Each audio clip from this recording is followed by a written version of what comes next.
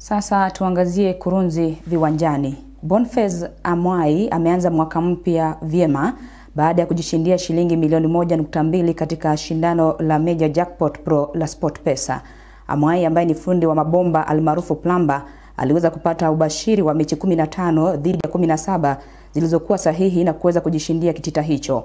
Amwai alikuwa ambaye ana watoto wawili ni mkazi wa kaunti ya Nandi japo ni fundi wa mabomba katika kaunti ya Nairobi.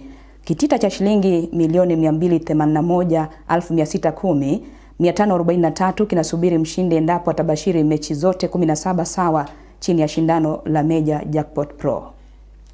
Mapepa furahi Nandi, mapepa furahi Tirichi. SportPesa ni ya ukweli na mang'ondo koko nu- nushindi bakweza hapo hapo na SportPesa khwendelee nayo ni ya kilikali na ihonyanga.